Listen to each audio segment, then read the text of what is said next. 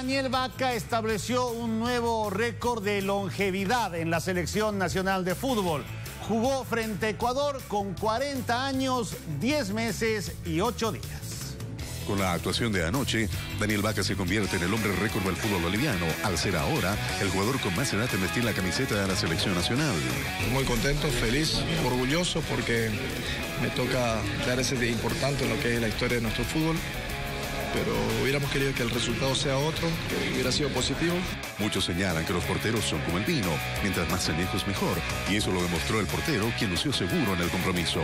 Nada, contento porque se demostró otra cara de la selección, se podría decir, eh, más que todo el primer tiempo, con, con destello el segundo, con algunas desatenciones que, por ahí no, nos cuesta algunos goles.